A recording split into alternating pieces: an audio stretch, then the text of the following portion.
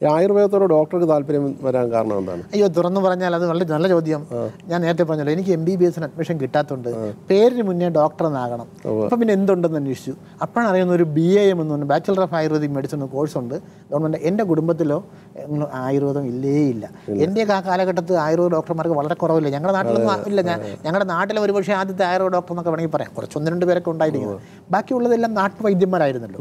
അപ്പം ഡോക്ടറാകുക എന്നുള്ള ഒരു ലക്ഷ്യം കൊണ്ടായിരുന്നു പക്ഷെ ഇന്ന് തിരിഞ്ഞു നോക്കിയാൽ ഏതോ പൂർവ എത്രയോ ജന്മങ്ങളിലെ സുഹൃതം എന്റെ അമ്മ താങ്കൾക്ക് പത്മശ്രീ നൽകി രാജ്യം ആദരിച്ചില്ല. അതും അതും ഞാൻ എല്ലാം ആയുർവേദത്തോട് കടപ്പെട്ടിരിക്കുന്നു.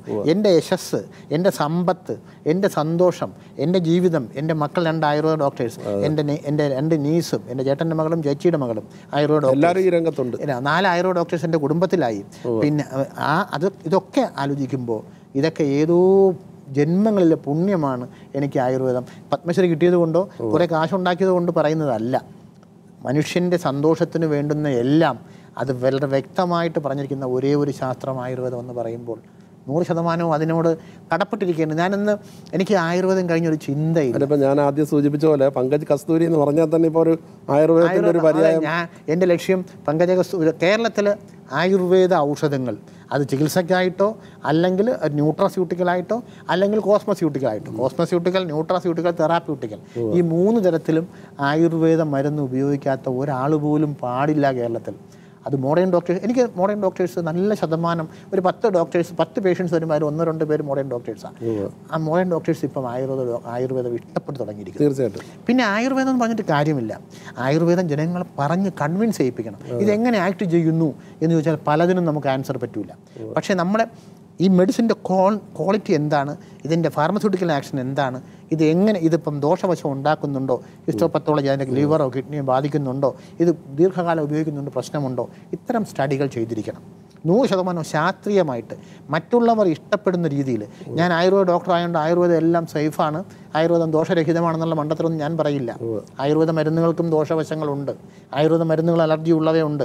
ആയുർവേദ മരുന്ന് എല്ലാം അങ്ങനെ ഉപയോഗിക്കേണ്ടതേ അല്ല പക്ഷേ ഉപയോഗിക്കുന്ന മരുന്നുകൾ. ഇപ്പോൾ നമ്മുടെ ശാസ്ത്രം പറയുന്നതിന് വ്യത്യസ്തമായിട്ട് പോയിട്ട് കാര്യമില്ല.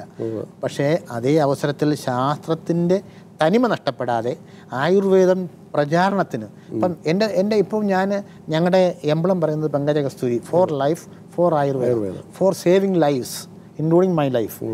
Plus അതാണ് ഫിഫ്റ്റി പെർസെന്റേജ്. ബാക്കി ഫിഫ്റ്റി പെർസെന്റേജ് ഫോർ ആയുർവേദ. ഇന്ന് എന്റെ ലക്ഷ്യം ആയുർവേദ പ്രചാരണമാണ്.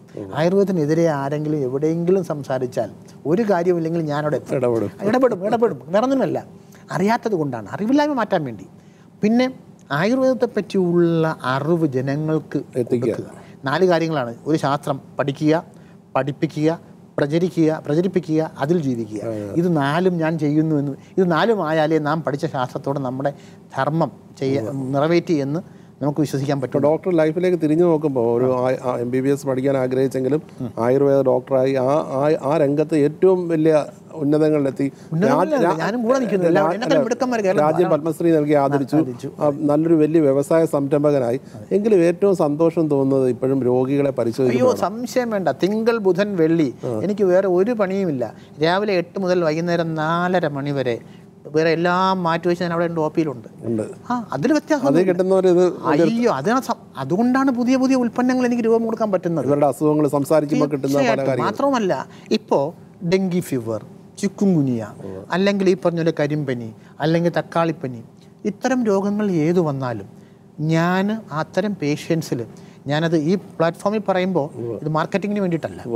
ഞങ്ങൾ ഇത്തരം രോഗികളെ ഒരു മരുന്നുമില്ലാതെ ആയുർവേദം ചികിത്സ കൊണ്ട് ഇംഗ്ലീഷ് മരുന്നൊന്നുമില്ലാതെ ഞങ്ങൾ പരിപൂർണമായിട്ടും അവരെ സുഖപ്പെടുത്താറുണ്ട്. പങ്കജ കസ്തൂരിക്ക് മറ്റ് ചാരിറ്റി വർക്കുകൾ ഒരുപാട് ചെയ്യുന്നുണ്ട്. ഇപ്പൊ അമ്മമാരുടെ ഒരു അതെ. തണൽ വീട്. ഞങ്ങൾ പങ്കജകസ്തൂരി തണൽ മുത്തശ്ശി വീട് എന്ന് പറഞ്ഞിട്ട് ഇരുപത് അമ്മമാരെ സൗജന്യമായിട്ടുള്ള ഓൾഡ് ഏജ് ഹോം ഒരു പതിനെട്ടോളം അമ്മമാർക്ക് ഞങ്ങൾ രാവിലെ വീട്ടിൽ നിന്ന് കൊണ്ടുവന്നിട്ട് വൈകുന്നേരം വീട്ടിൽ കൊണ്ടാക്കുന്ന മുത്ത് പകൽ വീട് അതുണ്ട്. പിന്നെ ഞങ്ങൾ ഇത് കാട്ടാക്കടയാണ്. പിന്നെ ഞങ്ങൾ ദിവസം ആയിരം പേർക്ക് സൗജന്യ ഭക്ഷണം പതിനാല് വർഷമായിട്ട് കൊടുത്തുകൊണ്ടിരിക്കുകയാണ്. എല്ലാ ദിവസവും ഉച്ചയ്ക്ക് ഇന്നും കൊടുത്തു ആയിരം പേർക്ക് ആയിരത്തോളം പേർക്ക്. ഒരു ദിവസം ഒരു എഴുന്നൂറ് മുതൽ ആയിരത്തി ഒരുന്നൂറ് വരെ ആൾക്കാർ. ആവറേജ് ഒരു ഇരുപത്തേഴായിരം പേർ ആശുപത്രി വരുന്നവരെ കാണാം. ആശുപത്രി കാട്ടാക്കട കോളേജിനോട് ചേർത്താണ് ഇത് ഉള്ളത്.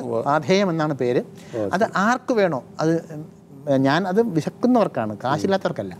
അത് ആര് വന്നാലും ഇപ്പൊ ദിവസം ആയിരം പേര് വന്നാൽ അതിൽ കാശില്ലാത്തവരല്ലല്ലോ. കാശില്ലാത്തവർ പത്തോ അമ്പത് പേരോ കാണും അല്ലെങ്കിൽ അഞ്ച് പേര് പത്ത് പേര് കാണും വിശക്കുന്ന ആർക്കും വരാം. വിശക്കുന്ന ആർക്കും. പിന്നെ ഞങ്ങൾ കുറേ കുട്ടികളെ പഠിപ്പിക്കുന്നുണ്ട് സൗജന്യമായിട്ട് ഞങ്ങൾക്ക് ചാരിറ്റി വാർഡുണ്ട് അതൊക്കെ ഞാൻ ഈ സമൂഹം കുറേ കാശ് ബിസിനസ്സിലൂടെ നമുക്ക് തരുമ്പോൾ ഈ സമൂഹമാണ് വളർത്തുന്നത്. അതിന്റെ ഒരു ഭാഗം സമൂഹത്തിന് പറ്റൂ. അല്ല അത് ഇത് ഇത് സമൂഹത്തിന്റെ അവകാശമാണ് എന്റെ ഔദാര്യമല്ല. ഞങ്ങളെ ഞങ്ങൾ അങ്ങനെ പറയുന്നത്. അപ്പോൾ ഈ മാതൃക മറ്റുള്ളവർ അനുകരിക്കട്ടെ പങ്കജ് കസ്തൂരി വലിയ ഉയരങ്ങളിലേക്ക് ഇനിയും പോകട്ടെ. Thank you thank you very much thank you thank you അവസരം തന്നതിന് വളരെ നന്ദി. Thank you